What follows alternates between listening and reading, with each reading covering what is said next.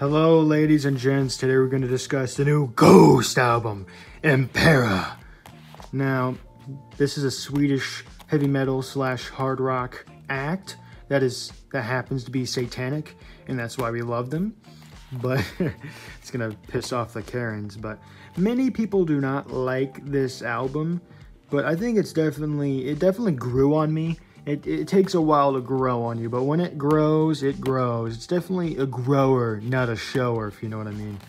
And here's the album cover. It has like a nice industrial complex here with Tobias in the middle. His Cardinal Copia with the, you know, the more industrial side here and the more skeletal side there, which is pretty rad. And then we have the back that gives off a industrial city of, you know, Cardinal Copia's landscape and it has a nice font to each of the song names and there's the landscape like I said pretty cool looking. And let's talk about the rest that comes in with this vinyl as well as the package of all of it because there's lots of goodies that come with this album. You'll be in for a treat. But here's the vinyl. It looks pretty cool looking. It's got a nice purple to it a nice purple twist. It's really beautiful looking. Most of my albums are just black but this is definitely some fresh air, and you have the typical Ghost font as well logo as well as the other songs too. That's side A. And what else comes with it is some stickers of every Cardinal Copia in the lore for the last 12 or so years of Ghost because they've only existed for a decade or so, which makes them one of the fastest growing new metal slash hard rock acts in the last 10 or 20 years, which is pretty cool. And here's every sticker. You can put it wherever. I'm not sure where I'm going to put the stickers, but I might keep them just, you know, as a devoted fan, if you will. Because I love every version of them. I love the prequel version of them. I love every version of them, especially the first album, too. Now, let's talk about the art that comes with it. Not only does it come with stickers, it also comes with its own art, too. And I'm kind of just going to gloss over this, skim through this part, but I'm just going to show you some of the art. There it is, the uh, daytime of his city. There's a nice sunscape too. It kind of reminds me of Bioshock Infinite with the whole dystopian city and all the religion, religious imagery. Looks pretty cool. Yeah, and here every song name or song in general has its own art to it, which is pretty cool, as you can see. This is probably my favorite one out of the bunch. I could always get a whole painting of this. I'd love that. Get a spillways painting.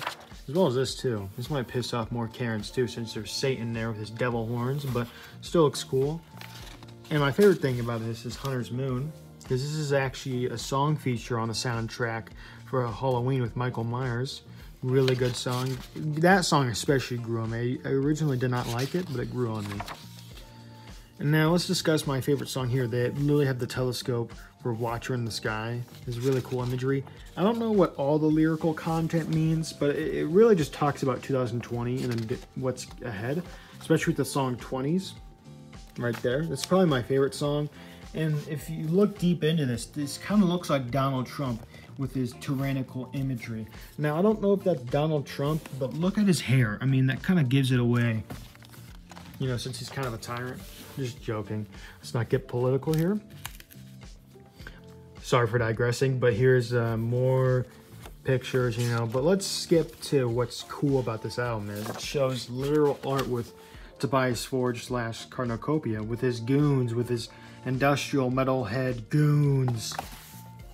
And then what surprised me is the amount of members are actually in Ghost. It's almost similar to, to Slipknot, except almost none of them, none of their identities are known.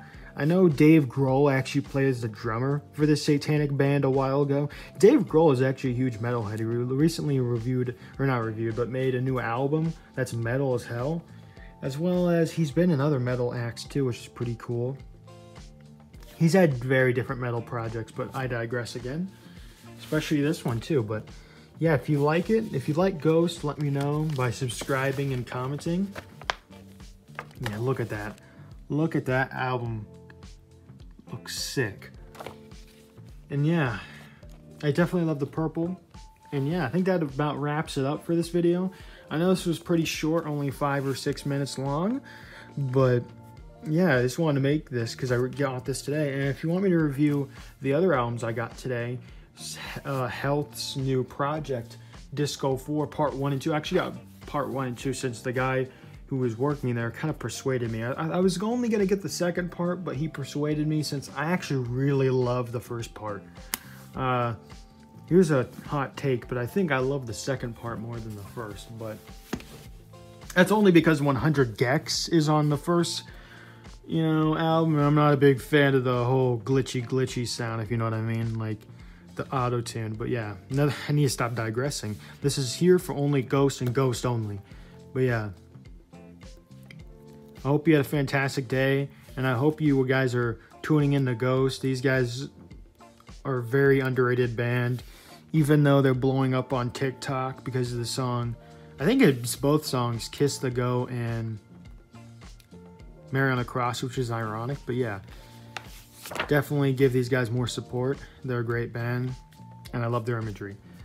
But yeah, enough enough ranting. Hope you guys have a great, fantastic day, Friday.